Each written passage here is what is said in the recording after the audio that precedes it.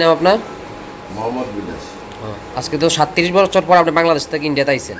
কি কারণে আটকাইছিল এখানে আপনারে? আমি ওখানে বেড়াইতে গেছিলাম আমার শ্বশুরবাড়ি না আমার। বাড়ি উনি কুমিল্লা টাউনে আমার অ্যারেস্ট করছে। অ্যারেস্ট করার পরে ওইখান থেকে বিভিন্ন কেস আমার জড়াইছে কত বছর?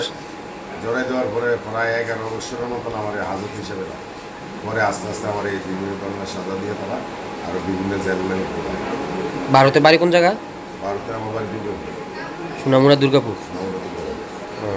তা ওইখানে কোনো আপনার সাথে নির্যাতন করছে কিনা তার ওইখানে হ্যাঁ, আমারে যখন অ্যারেস্ট করছে তখন আমার প্রায় চোদ্দ দিন আমার খারাপ হয়েছে। ফ্যানের সাথে ঝুলিয়া এমনকি গরম পানি মরিচ নাকে মুখে দিয়া চেয়ারের উপরে দুই চেয়ারের উপরে টেবিলের উপরে লাঠি ঢুকে দিয়ে এরকম বিভিন্ন ধরনের হয়েছে এখন আমার থেকে বিভিন্ন কেসে স্বীকার তুলেছে ভারতে আইছেন কীভাবে এখন? এখন আসলাম আমার দেশের লোক কিছুটার ইয়া পদক্ষেপ নিয়েছে যে আমি এত উৎসব করে রয়েছি তারা জানা হয়ে রয়েছে তারা জানছে তারা আমার জন্য বিভিন্ন জায়গায় চিকিৎসা চালাচালি করছে এমনকি বিভিন্ন দপ্তরে দপ্তরে তারা ঘুরছে ঘুরে আমাকে। Do not forget to like, share, and subscribe to the Assam Tribune.